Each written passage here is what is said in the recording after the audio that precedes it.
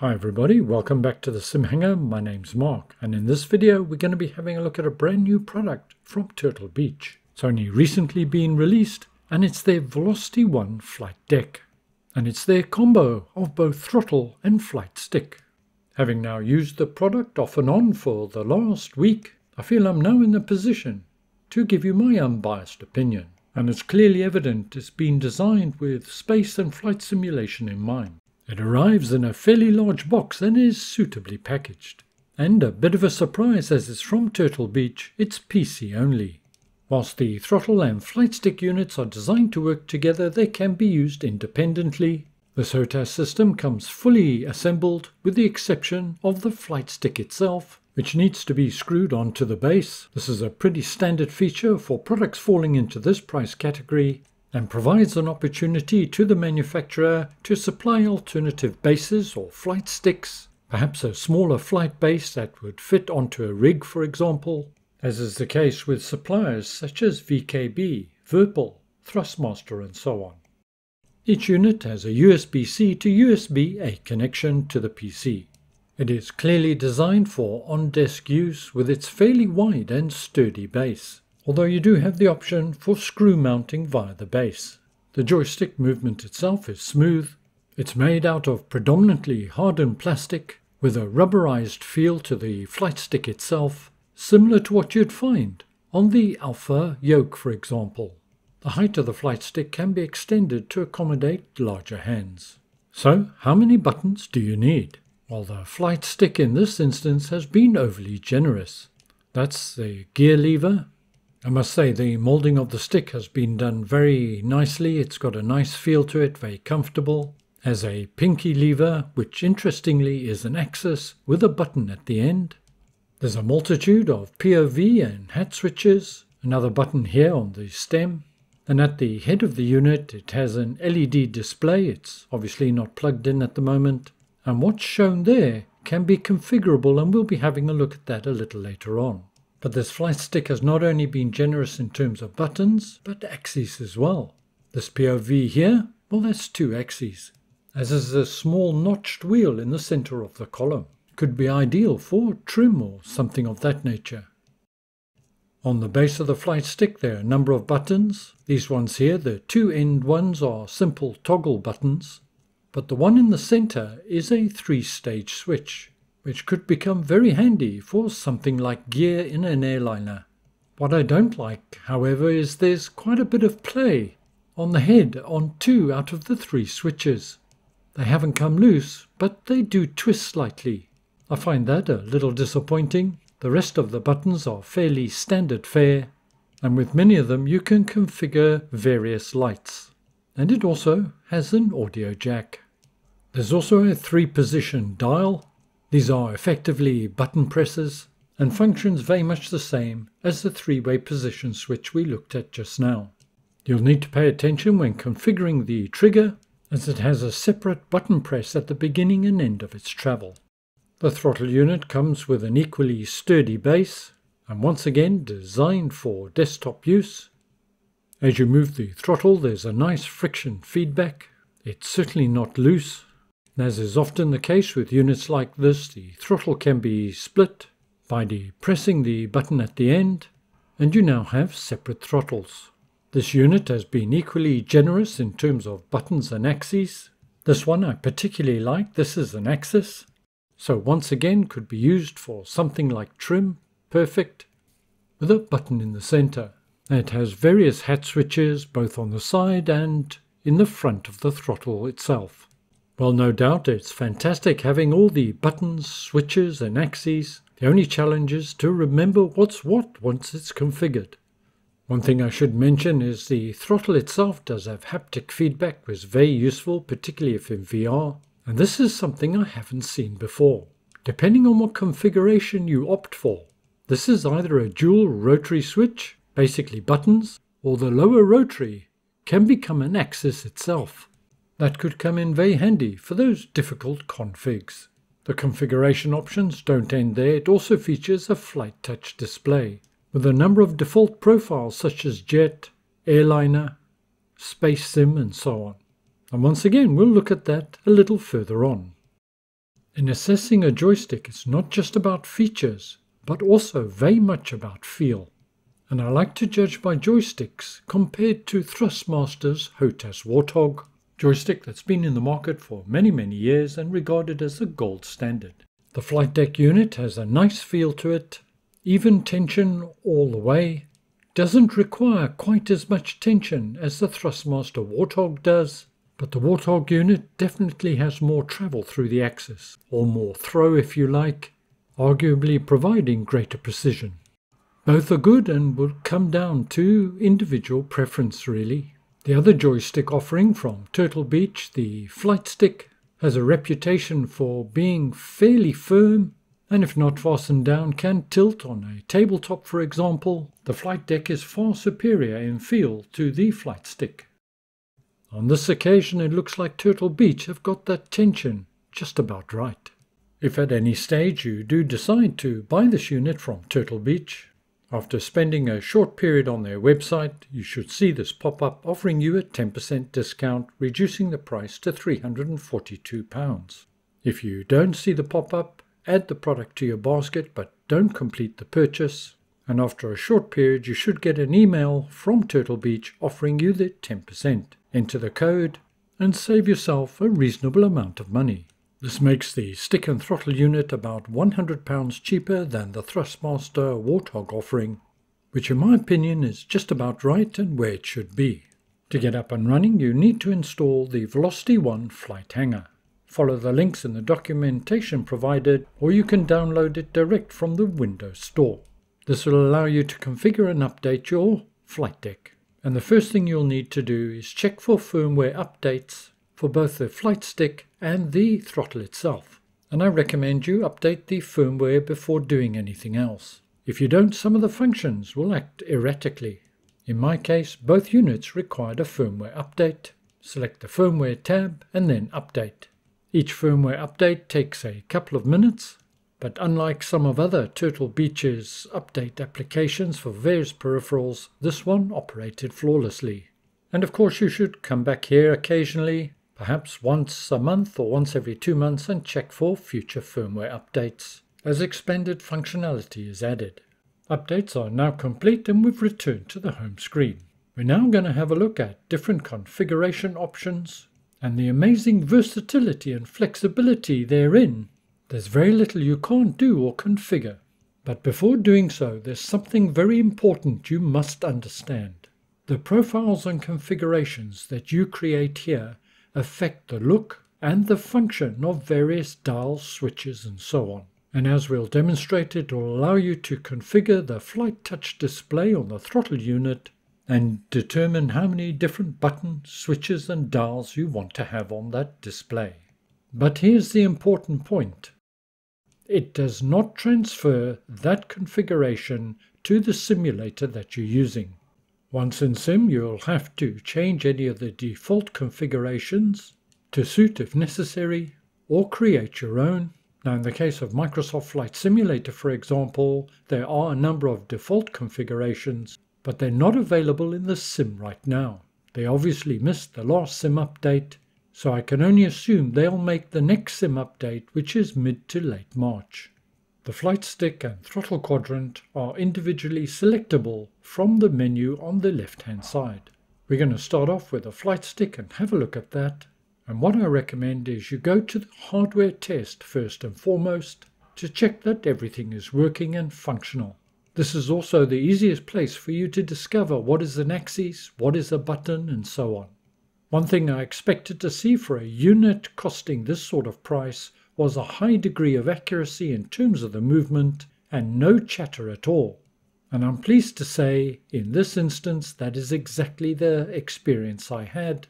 And for pitch, roll, and yaw, it's using non contact Hall effect sensors. I did mention it briefly before, but if you have a look at the trigger, when you first press the trigger, it activates one button, and when the trigger's all the way in, it activates another button. This could be problematic for various configurations and something to bear in mind. Here I'm rotating the dial on the stem of the stick and you can see, yes, it's an axis, but it also functions as a button if you press it in. And likewise, we can do a hardware test on the throttle. Simply select it from the menu, and here you can play and experiment to your heart's content. I must say I really enjoy the friction or tension on the throttle axis itself, firm enough to be noticeable but not firm enough to tilt the unit. Also interesting to note that it's activating a number of buttons at both extremities of its axes and also a center position this could be very useful for fixing various positions on your throttle, such as maximum continuous thrust, etc. I mentioned earlier that the dial on the side of the throttle was an axis. Let's just test that. And yes, we can see that that's moving. That's going to be very useful indeed. Again, you could use that as a trim or perhaps for heading or whatever you wanted. You can also test the touchscreen panel on the throttle unit to check that the rotary dials, buttons and switches are functioning as expected. Now that you've got familiar with the units, it's now time to have a look at config options. Once again, we'll start with the flight stick and select config from the top tab. And here we can see there's four default profiles. Basic, fighter jet, space and commercial jet. To select one, put your mouse over the profile that's desired and in the bottom right hand corner is a copy icon. Click on that and that profile will appear. A single click on the profile now will sync the flight stick to that profile. You can't hear it, but the actual unit itself vibrated. You can have more than one profile at any one time, but only one of those would be active. Now selected commercial and made that the active profile. You can see on the flight stick the LCD display has changed and so has the colors. I'll go back now and select fighter jet, make that the active, and once again the LCD display changes. You can delete a profile just by selecting the trash can. To enter the submenus, you can double click on the icon or select the edit icon from the bottom. And this is where you'll see the huge array and expanse of different configuration options available. This is a brief overview. We can select the panel editor and if we wanted to we could just change this aspect of the configuration. Options include space and commercial. I think I'm going to go for commercial. I quite like the look of that display. Let's see what else we've got under hardware settings. There's a vast array. You can select different profiles for the axis itself. In effect, it's the different sensitivities you can also adjust or add dead zones if you wanted to to any axis. You can also enable or disable the trackpad. That's done on the flight stick directly. Simply click this button up and it becomes a trackpad. Push it back down and it remains as a button. Options include audio, the thumb wheel, which we have already established is an axis, but you can change it from analog to digital for Microsoft Flight Simulator, I recommend leaving it as analog. You can also adjust the haptics within the flight stick itself by changing the deflection boundaries. Once you've made all your changes, they're not saved at this point. To save it, head back to the home screen and click on the icon and that will save it. Note the LCD display on the flight stick has changed to reflect the commercial. If you wanted to create a profile from scratch, select New. Now on to the throttle unit. I'm going to select the fighter jet again, click on it to make it active, and it automatically syncs to the throttle. That's quite a nice touch.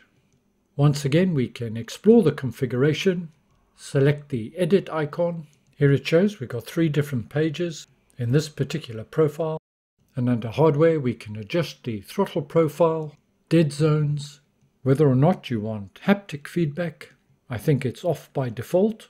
And you can also adjust the various positioning for the activation of the buttons and so on.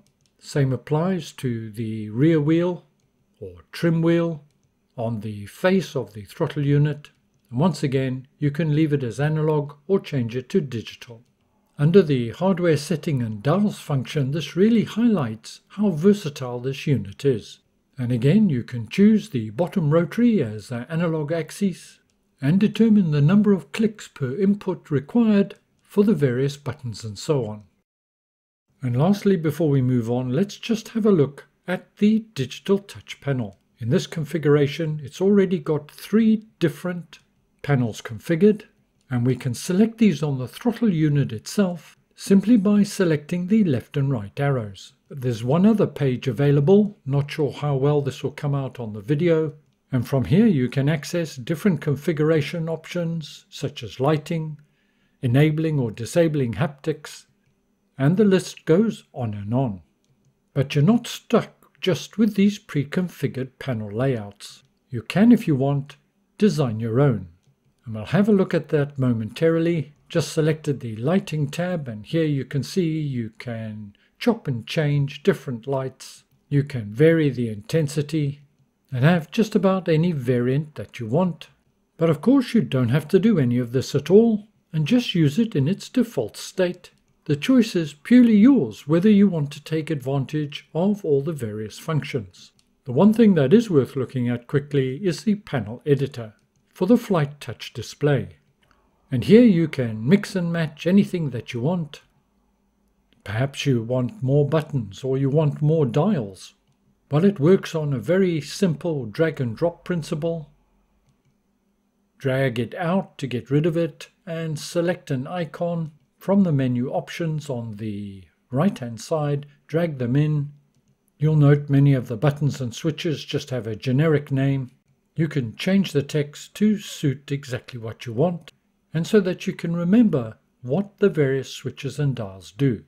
Note it hasn't changed on the throttle quadrant physically yet because we haven't saved it. Here's a closer look at the touch panel. You can scroll to different pages.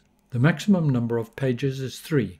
The fourth page is Settings, and let's briefly have a look at key bindings. And what this shows you are the configuration assignments for your dials, buttons and switches. You can then in principle, within your sim, assign functions to these. However, as far as I'm able to ascertain, this is not supported in Microsoft Flight Simulator at this time until the update. And in Sim it'll often say it's trying to assign a function to a different device. Hopefully the update will sort this. So let's head back to the main menu and then we need to click on the profile that we've selected, which is fighter jet at the top. That will then update all the information and the flight touch display will be updated accordingly. There we are done and updated. And you can see that reflected on the physical unit. If you don't like it, well, no problem, just bin it Select a new fighter jet profile, click on it to update it once again, and you'll be back to where you started with the default display. We'll shortly be jumping into Sim to give it a test, but before we do so, if you're stuck on something, head over to Turtle Beach support homepage, links in the notes below, select Controllers and Simulation, look for the Velocity One flight deck, and here you'll find a variety of information including a number of step-by-step -step guides. Here you'll be able to see the default button mappings and associated information, but I also wanted to make you aware of one of the points I can't demonstrate currently, and it's listed under the frequently asked questions. Currently available for Windows and Android mobile devices, but not available yet for iOS. There is a mobile app, and what's the significance of that? Well, it will allow you to move buttons, switches and dials to your mobile or tablet, and these will interact directly with the device. This option may be easier to manage rather than trying to deal with the touch display itself. We've now jumped into Sim and let's go to the Control Options menu. Both the throttle and the stick show a default configuration, however that configuration is empty. In effect, and as mentioned earlier, until the next SIM update, or whenever it's updated, you'll have to create your own configuration from scratch, something that I've done for this video. I'm not going to run through my config in any detail, just highlight one or two points. If however they're not available by the next SIM update, of course, I will do a number of configuration guides. Setting up the configuration was fairly straightforward and standard, very much along the lines as you would configure for any other aircraft using an alternative joystick or throttle quadrant. If however you'd like to see some simplified configs, drop a comment and if there's enough demand, I'll do it earlier. That trim wheel I was so enthused about, while I wasn't able to configure it adequately, so set elevator and rudder trim to the POV, which worked very well. My braking configuration may be of interest. I used the pinky lever at the base of the stick and configured both brakes access to it. Also had to configure the button at the end of the travel. This gives me progressive braking, which is great, but not differential braking. Configuring the autopilot was fairly straightforward, as was the gear up and down.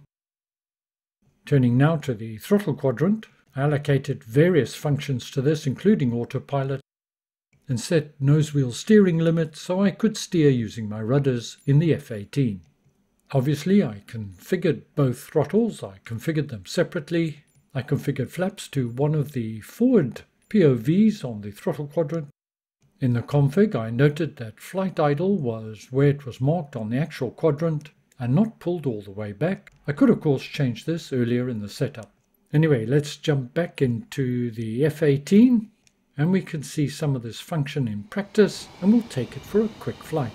And as shown earlier, you could have changed the lighting configuration and display panel to suit. Now exercising the flap lever, I have flaps up and down. It's a flaps decrease and increase so I can set them in stages. And for my carrier landings, I set the tail hook to the button on the end of the throttle here, which incidentally is also an analog axis. I also allocated the spoilers to the lever here, this axis, worked very well and provided graduated control on the spoiler. The flight stick obviously has a twist action, so I have rudders, elevator and aileron as you would expect. Interestingly, all my dead zones are set at 0% as the Hall effect sensors doing their job. Again, as mentioned earlier, the touchscreen itself does not seem to be active. You can identify the inputs, allocate them, but they don't show and they don't save. Here's an anomaly I noted on the pitot heat. In my config I deliberately haven't set this, but pitot heat is one of the switches on the touch display and with multiple taps I could get that to action.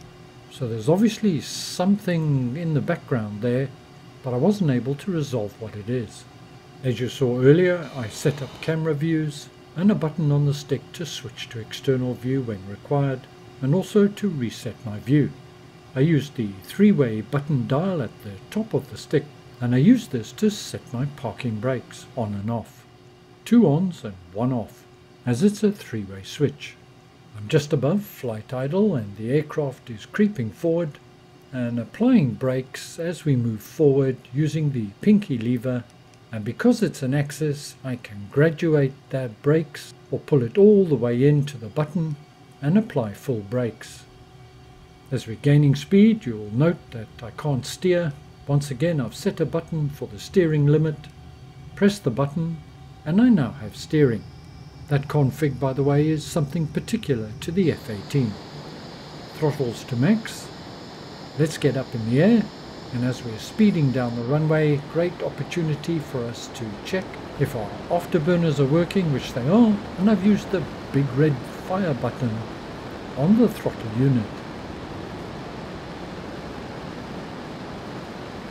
It's quite awkward to film this sort of thing. I'm leaning over at an angle, so please bear with me. But we're up and away. Flaps to auto and gear up. Come back on the throttle afterburners off. The flight stick itself is giving me a feeling of control. Tension's not too harsh. Pulling back very slightly on the stick and comfort in the hand to boot. I do like the flight stick. Here I'm just rolling left and right slightly but the flight stick is providing graduated control, yet can be twitchy and react fast when I need it to, even though for aileron and roll I have turned down the sensitivities. But this again was a personal preference of mine. I mentioned earlier I set the elevator trim to the POV button on the flight stick itself, and I must highlight it worked really well. Small increments, not over the top, might be different with other aircraft, but with the F-18, well, it's a star performer. I found the throttle quadrant very responsive, I enjoy the friction, and once again, fairly comfortable in hand, although perhaps wouldn't suit a small child or something like that, as there is a fair amount of friction involved. but it's not over the top in my opinion. I'm not going to bore you with the whole flight. What's mainly important is what sort of level of control do you feel you have with this unit, and I think overall it's very good indeed. If anything, I'd probably have liked a little bit of more throw or movement along the elevator and uh, aileron axis, but again, that's a personal opinion and I've probably been spoilt by other joysticks over the years. The proof of the pudding is in the eating, as they say, so let's go for a landing. Flaps are down, gear are down, speed below 200 knots, and we're now on final approach.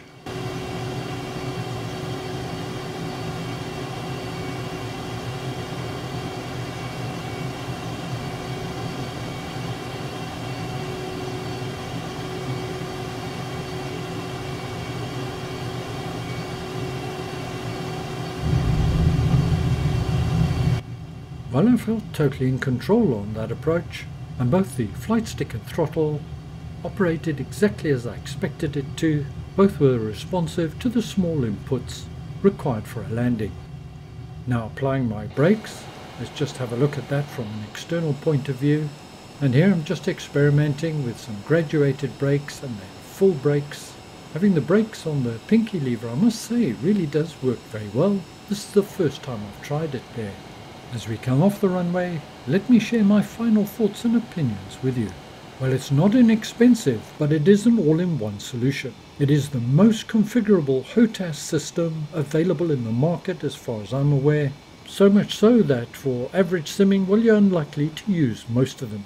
And I am at this point taking it as a given that Microsoft Flight Simulator will get default profiles. Compared to other feature-rich HOTAS systems, it's competitively priced Quality-wise it seems fit for purpose, but only time will tell how it will stand up to the rigours of daily use.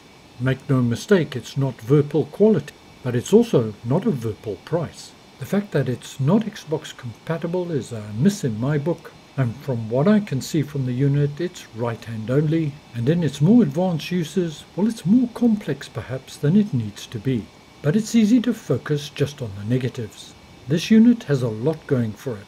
Overall, it's a good unit, and I'll certainly be using it. And kudos to Turtle Beach for their innovation here. Technology-wise, well, they've just leapt ahead of most of the competition. Well done, Turtle Beach. As always, thank you very much for joining me today. I hope you found it useful and informative.